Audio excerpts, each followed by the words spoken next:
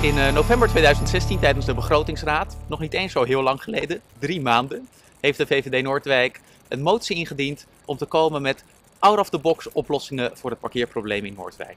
Daarbij hebben we ook de optie van parkeren in het duin genoemd.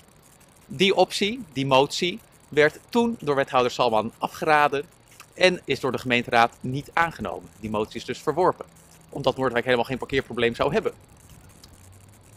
Drie maanden verder en wij wisten het al, u wist het al, Noordwijk heeft wel degelijk een parkeerprobleem. En het is dus noodzakelijk om op zoek te gaan naar oplossingen. Wij zijn blij verrast dat wethouder Salman toch uitvoering gaat geven aan de VVD-motie. Hij heeft in de krant namelijk laten weten dat hij bezig is met een onderzoek naar het parkeren in Duin. De optie die wij ook hadden geboden. Uh, het gaat om dit stuk Duin, waar Huisterduin op staat. Uh, het stuk Duin gaat van de Koningin Wilhelmina Boulevard naar de Koningin Astrid Boulevard. En hoe fantastisch zou het zijn als je de Wilhelmina Boulevard op kan rijden, parkeergarage in kunt rijden, dat die ook verbonden is met de Astrid Boulevard en je vervolgens zelf kunt kiezen of je de Wilhelmina Boulevard opgaat, de Astrid Boulevard, het strand op of de Hoofdstraat in.